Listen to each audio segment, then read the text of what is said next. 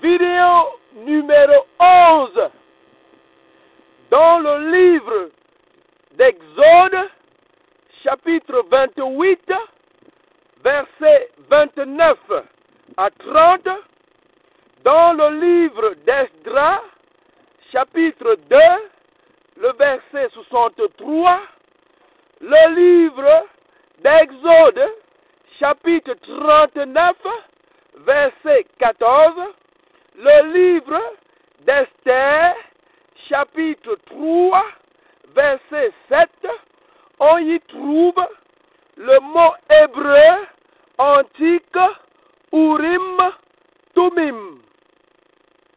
Ce mot hébreu antique Urim Tumim est écrit dans la Bible et prononcé modernement, c'est-à-dire sans sa vraie prononciation, à l'aide de la langue hébraïque antique qui existe jusqu'à nos jours au Cameroun, langue qui est parlée à l'ouest du Cameroun, nous allons vous montrer comment prononcer correctement ce mot et nous allons vous donner sa signification correcte.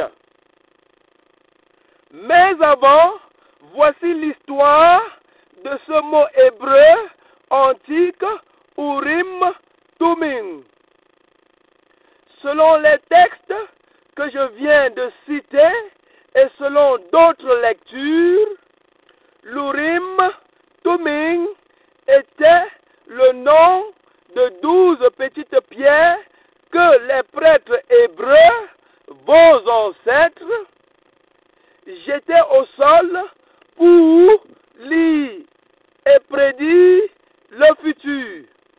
Comme les marabouts dans vos villages jettent les pierres au sol pour lire et prédire le futur. Sauf que il faut noter que les marabouts dans vos villages qui jettent aujourd'hui les pierres au sol, beaucoup ne servent pas Dieu et beaucoup ne craignent pas, ne craignent pas le Dieu de vérité.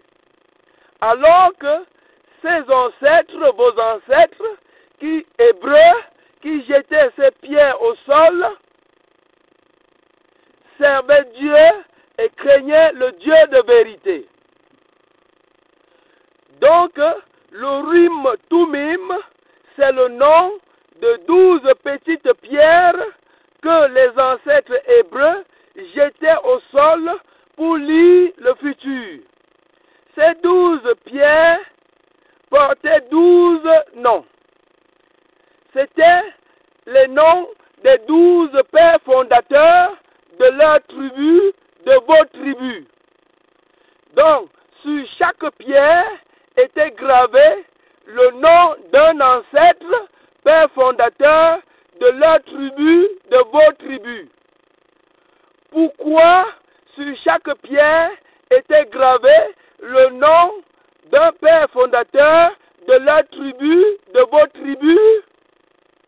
Parce que lorsque tu graves sur quelque chose le nom exact, avec la prononciation exacte, avec la phonétique exacte d'un ancêtre qui était puissant et béni, alors son esprit vient sur cette chose. C'est pourquoi Yeshua, Jésus, dit que là où vous prononcez son nom, là où vous parlez même seulement de lui sans prononcer son nom, il est présent par son esprit. Mais sauf que son nom doit être prononcé avec la prononciation exacte, avec la phonétique exacte. Voici alors comment il faut prononcer ce nom Urim Tumim avec la prononciation hébraïque antique exacte. Urim Tumim, c'est Oui Tum. Hu yi tum. Hu yi tum. À la lumière de la langue hébraïque antique parlée au Cameroun, à l'ouest du Cameroun, que signifie Urim Tumim correctement Huyi Tum Ce mot signifie ce que l'on voit, les choses que l'on voit et qui apparaissent et qui se réalisent lorsque l'on jette ses pieds au sol. Mot à mot, Huyi Urim, Huyi signifie ce que l'on voit, les choses que l'on voit. Tum signifie les choses qui apparaissent. Tum signifie les choses qui se réalisent plus tard. Et ma signifie les pierres que l'on jette au sol. Vous voyez bien que cette signification reflète bien la fonction de ces pierres qui étaient, on les jetait au sol pour lire et prédire le futur. Une autre explication, autre que celle-ci, c'est une erreur.